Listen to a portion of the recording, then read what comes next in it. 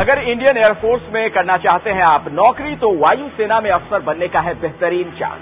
वायुसेना ने air force common admission test के तहत फ्लाइंग ब्रांच, टेक्निकल ब्रांच और ग्राउंड ड्यूटी ब्रांच कोर्स के लिए दिया है विज्ञापन। अगर इंडियन एयरफोर्स की नौकरी है आपका ड्रीम जॉब और आसमान को बनाना चाहते हैं अपना वर्क प्लेस तो करियर में उड़ान भरने के लिए आपके लिए है बेहतरीन मौका।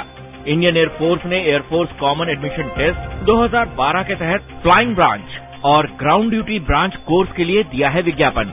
कौन कर सकता है आवेदन? फ्लाइंग ब्रांच अगर आप फ्लाइंग ब्रांच के लिए अप्लाई करना चाहते हैं तो कम से कम 60 फ़ीसदी अंकों के साथ ग्रेजुएट होना ज़रूरी है।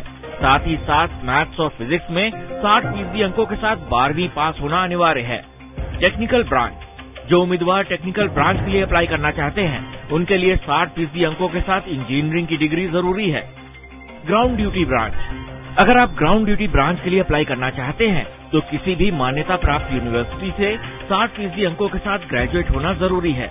योग्यता से जुड़ी अधिक जानकारी के लिए लॉग ऑन करें news twenty four online dot com कैसे होगा सिलेक्शन सबसे पहले उम्मीदवारों का होगा शारीरिक मापदंड टेस्ट शारीरिक मापदंड के लिए जो उम्मीदवार टेक्निकल ब्रांच और ग्राउंड ड्यूटी ब्रांच के लिए अप्लाई करना चाहते हैं उनकी लंबाई एक सेंटीमीटर। और जो उम्मीदवार फ्लाइंग ब्रांच के लिए अप्लाई करना चाहते हैं, उनकी लंबाई एक सेंटीमीटर होनी चाहिए। सिलेक्शन से जुड़ी अधिक जानकारी के लिए देखें न्यूज़ ट्वेंटी की वेबसाइट कैसे करें आवेदन? पूरी तरह से भरा हुआ फॉर्म आप रजिस्ट्री या स्पीड पोस्ट के थ्रू भेज सकते हैं। अधिक जानकारी के लिए लॉग ऑन करें news twenty four online dot com उम्र सीमा। जो उम्मीदवार फ्लाइंग ब्रांच के लिए अप्लाई करना चाहते हैं उनकी उम्र 1 जनवरी 2012 तक 19 से 23 साल के बीच होनी चाहिए। अगर आप टेक्निकल ब्रांच के लिए अप्लाई करना चाहते हैं तो आपकी उम्र 1 जुलाई 2012 तक 18 साल से 28 साल के बीच होनी चाहिए। ग्राउंड ड्यूटी ब्रांच के लिए अप्लाई करने वाले उम्मीदवारों की उम्र 1 जनवरी 2012 तक 20 से 27 साल के बीच होनी चाहिए। और अधिक जानकारी के लिए लॉग ऑन करें news twenty four online dot com आवेदन की अंतिम तारीख।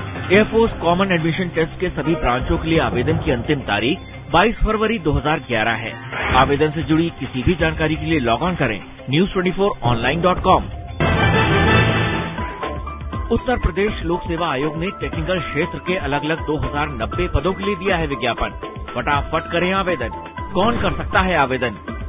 उत्तर प्रदेश लोक सेवा आयोग के द्वारा निकाले गए पदों के अनुसार संबद्ध क्षेत्र में डिग्री प्राप्त उम्मीदवार आवेदन कर सकते हैं। आवेदन से जुड़ी किसी भी जानकारी के लिए लॉग ऑन करें news twenty four online dot com कैसे करें आवेदन? सभी 2090 पदों के लिए आप सिर्फ़ ऑनलाइन आवेदन कर सकते हैं। उम्र की सीमा। उम्र से जुड़ी जानकारी के लिए लॉग ऑन करें news twenty four online dot com आवेदन की अंतिम तारीख। उत्तर प्रदेश लोक सेवा आयोग में सभी 2090 पदों के लिए आवेदन की अंतिम तारीख है 23 फरवरी 2011